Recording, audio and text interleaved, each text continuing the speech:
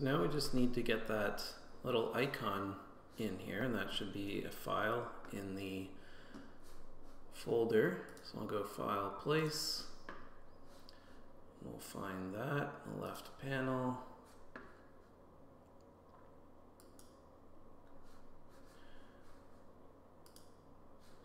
Now it's quite large, so again, this has been placed in.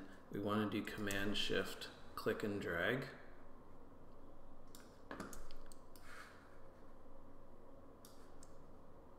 Command Shift, click and drag. There we go. All right, so on the next one, it's getting a little simple. The inside is definitely a little more complicated text-wise, but we're going to bring place in that logo. So again, File and Place, Command D.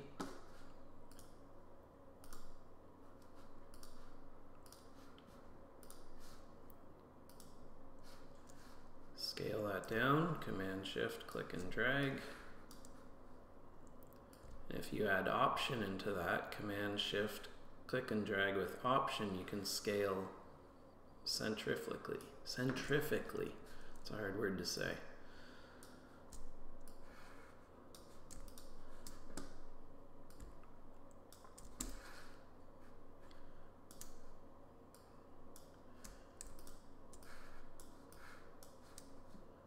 I'm just going to align it. I can't help myself. I have to have to have some aspect of alignment going on in this. There we go. And then the contact us information. So you can you can replicate that, put whatever you like. So I'm just going to grab some type here.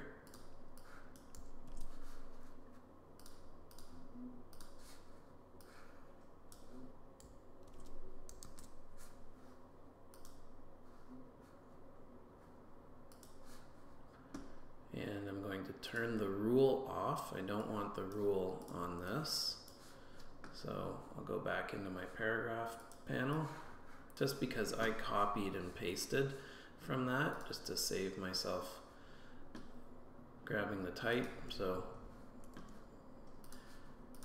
I have to turn that rule off and this says contact us.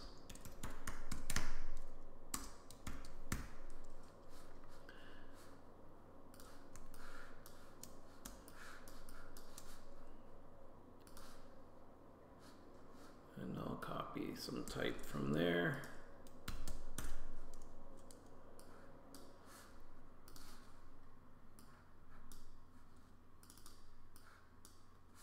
Make it white.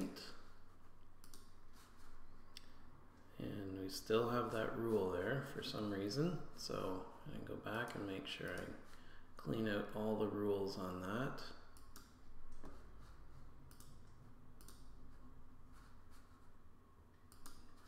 I guess it was just a little redraw glitch. It's not actually there. And I'm going to close up. You can see that this again is the space after, but there's probably also a return. So I'm going to do a forward delete here. Function delete, and function is on your Mac, it's in the lower left. Function delete, return, so this letting just has to be closed up. And then this is where I would put the address. So I'm not going to type the entire address myself, but you guys will for your submission.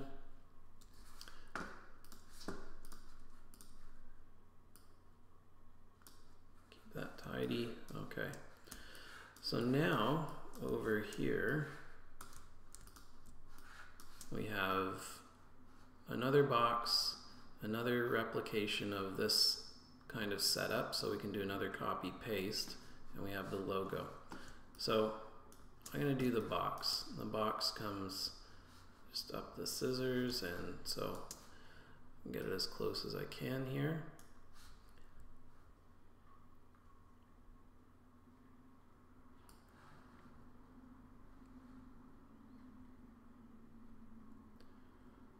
about there, making sure I go to the bleed I'll sample with my eyedropper the color that we have going on with the panel there.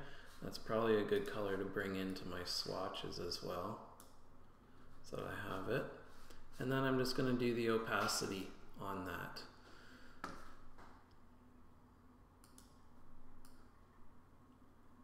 Pull that back a bit.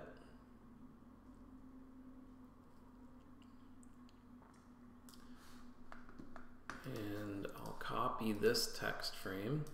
So ideally, I'm making sure that I maintain all the exact settings in this. I'm just going to change the content. So I'm just going to, I'm using my option key to copy that text frame over. And I think I was holding down the wrong key there. There we go. And I'll bring it to the front. So you can do arrange or you'll have to make sure it's selected of course. Arrange or I'm just going to do my key commands because that's what I'm used to. Command shift in my right square bracket. But uh, arrange is obviously there. You could bring it, send to front since it was at the back. Now it's at the front. And I'm just going to delete this content that I don't need. And product overview.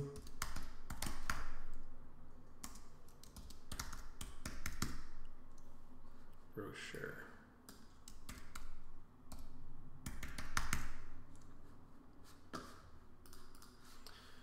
And one thing you want to do when you're working with InDesign, you really do want to work tidily. So I don't need this long text frame anymore. I'm going to bring it right up to where it's tucked up to its content. And it's just, it's just good practice to work tidy that way. And then we'll place that logo in.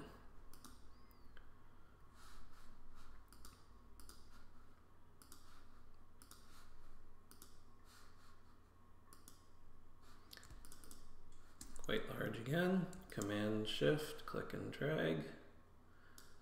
Remember Command Shift is so that you're scaling both the frame and its contents.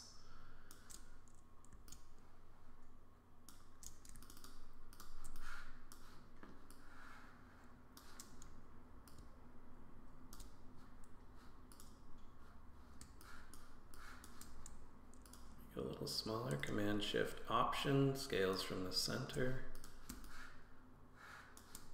There go. And if I want to make sure this is in the center of the column, which I do, it's a good idea to use a shape. So I'm just going to use a rectangle and I'll go to the page edge, not the not the guide for the bleed, the page edge, because that's going to be true center when this gets trimmed away and then I can bring out a guide if I like so that I know, okay, I need to move this over just with my arrow keys. I'll nudge it over a bit.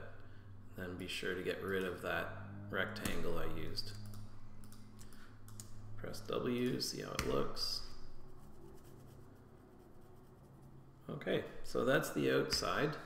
Obviously, when we get into the inside, it's a little more complicated type-wise, but not too bad. It's just it looks like more because it's got more content, but we've remember we always want to work from the big picture down to the details. So we have a panel with a picture, a blank panel, then another colored panel, so we saved that swatch.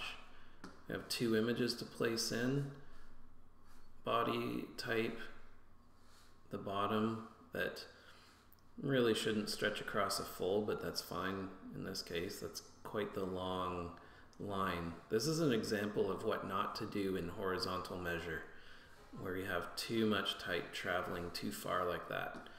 But don't worry about it. For this, we can do it. And then we have the titles and descriptions here. Okay, so we'll do that in the next tutorial. For next week, but we've got the outside completed and it looks pretty good.